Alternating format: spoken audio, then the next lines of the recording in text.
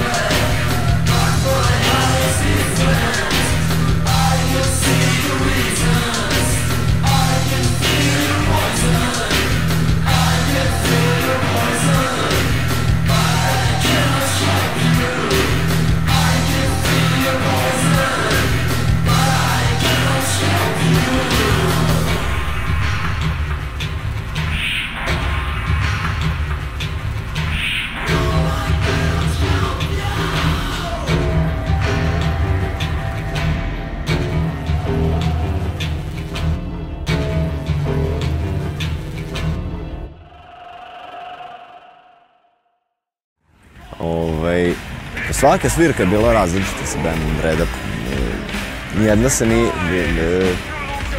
nisu se ljudi isto osjećali koji su svirali, koji su prolazili kroz band. Ovaj, tako da ni atmosfera uvek nije bila ista. Nekad je bilo napeto, nekad je bila totalno puštencija. Pamtim onu koreografiju kada sam nastupao u dresu Cementa iz futbolskog kluba Da, Cementa iz i ja Beočina sa je perikom. bilo izuzetno. Sa perikom, ovaj, imao sam te perike, jednu drečavu zelenu ravnu i drugu kovrđavu. Ono tamo kad smo svirali na plaži, pre Exit, da, da, tako nešto, da. Ono za one kampere. I oni su bili super publika, oni su se skakali, znaš, kao, a da ja jeste vi kao ju. E, tad mi je bilo najgode. Ako bi morao da izdvojim, izdvojio bi dva Exit Reload, izdvojio bih koncert na Exitu, svirke u Selenči, svirka u Baču, svirka na Paliću. To su neke svirke koje su dosta dobro bile prihvaćene, a i dosta, dosta smo i ozbiljno svirali.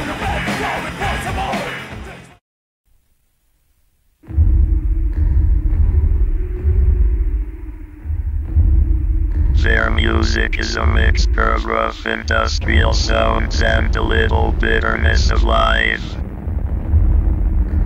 Combined with the lyrics that talk things other people keep quiet about. Through years they changed their sound a lot and went further in music darkness and noise expression. Their main concept is to provoke you, irritate you, and make you hate them until you see you love them.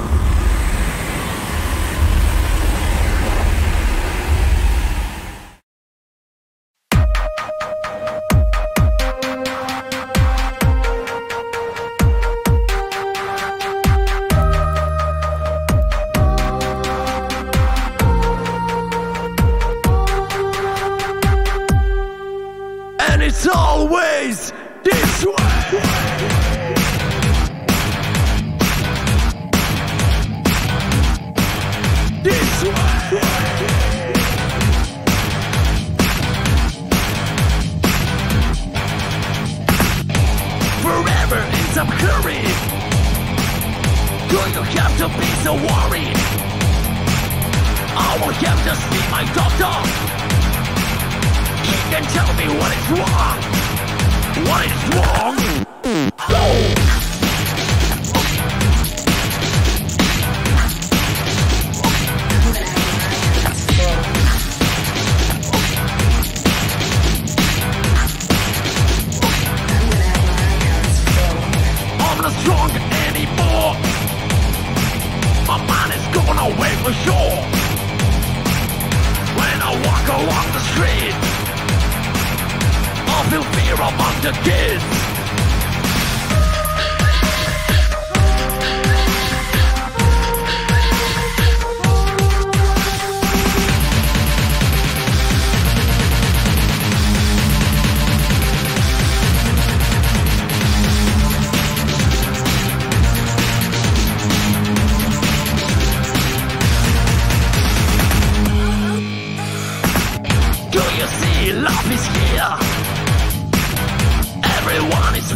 fear. Follow me to the light as I lead through the dark, and it's always this way.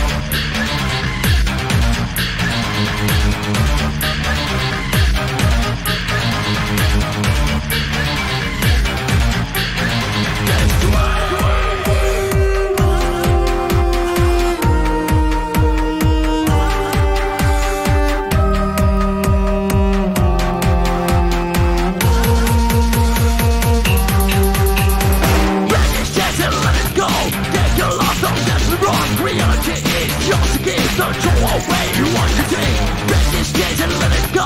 Take your love, don't get me wrong. Reality is yours to. Don't throw away what you did.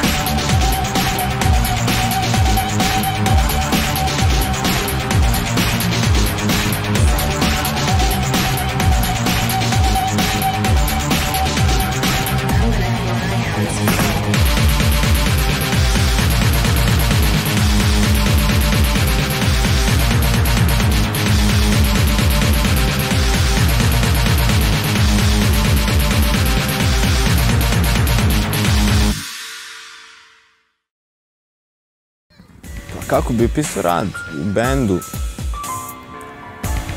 a rad kao i u svakom bendu. Ovaj,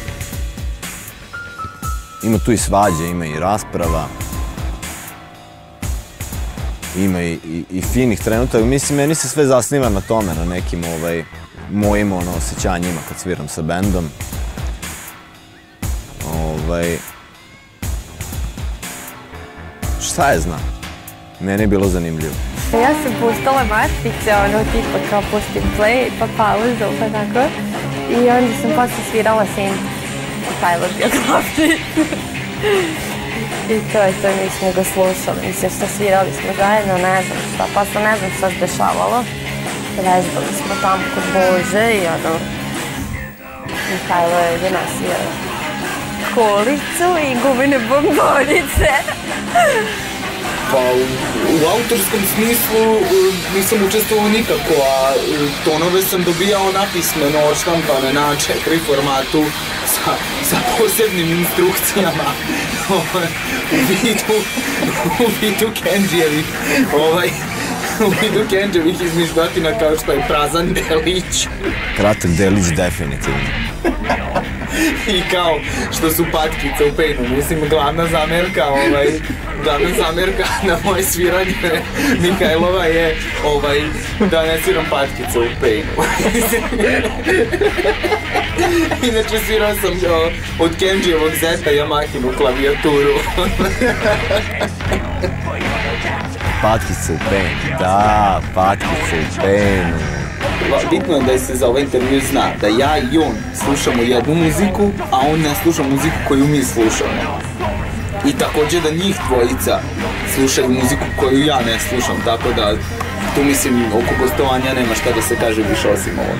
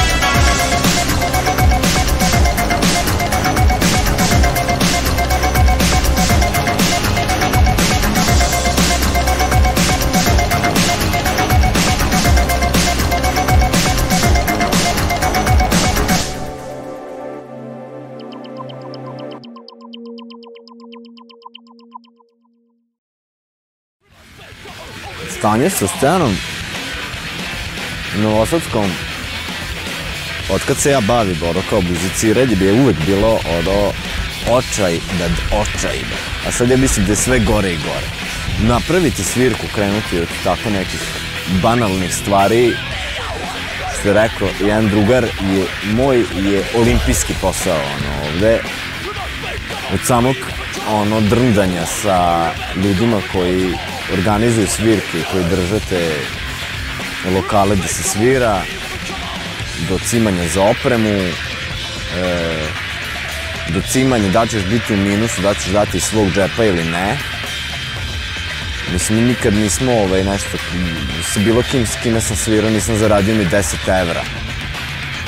A sad baš da dajem iz svog džepa, i nešto mi se ne isplati. Što se tiče lokalne scene, Dread je ovaj, tada bio jedan od najrazvijenijih bendova. Naravno i po ovaj, godinama staža, a i po progresivnom muzičkom pravcu, jel? Pošto znamo svi da sam ja progresivan ko konj, to sam, jel, šta reći? Pa ja ni ne znam kako sad, znaš. Ono znam kako je bilo pre, pre bila mala i... Mislim, ne pojma. Pa valjda okej, okay, Nek svako svira šta hoće. Da li smo digitalni i šta ćemo da uradimo kad dođu da nas vode?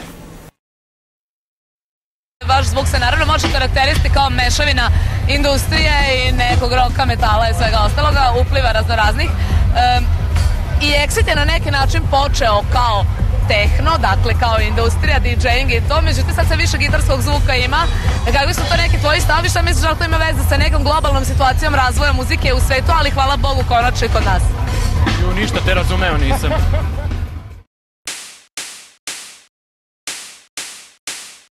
Hey, you monkey man, wake up and smell the pain. Wake up and smell the pain.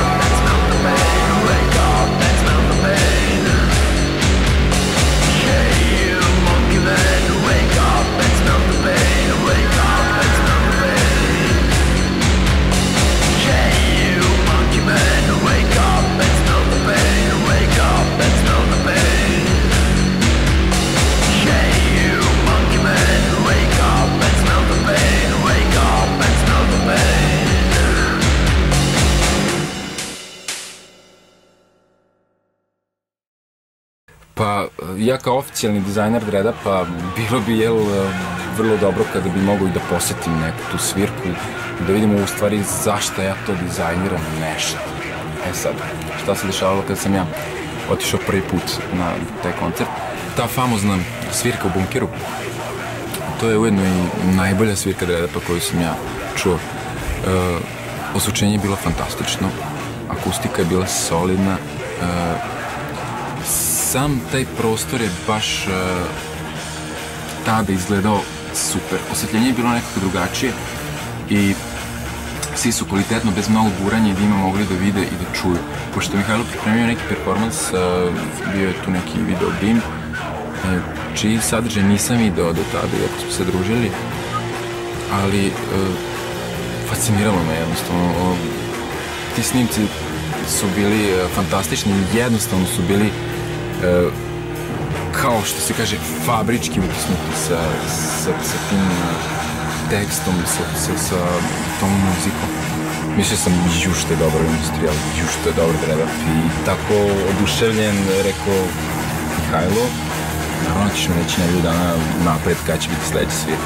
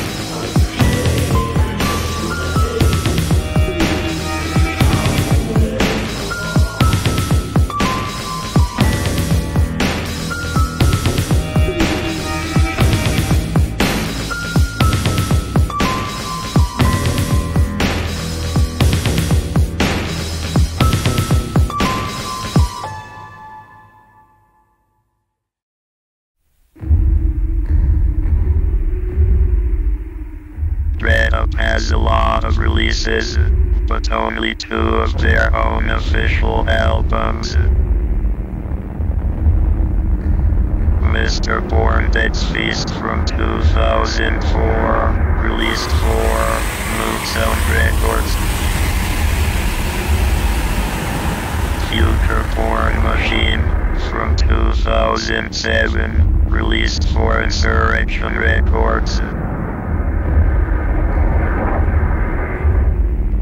They are currently working on their third album called El Conquistadors. This album will talk about present tense.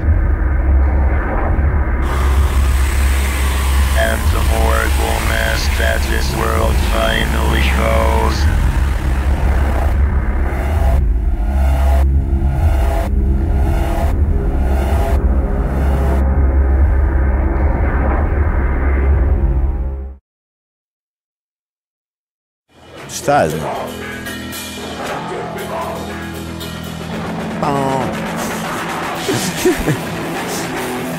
Za kraj mogu da vam kažem da čuvate svoje zube, pošto sam ja danas vadio jedan zub. Drugom zubu nemam živac, otvoren mi je, izlomi je. Malo verovatno i šuška mi.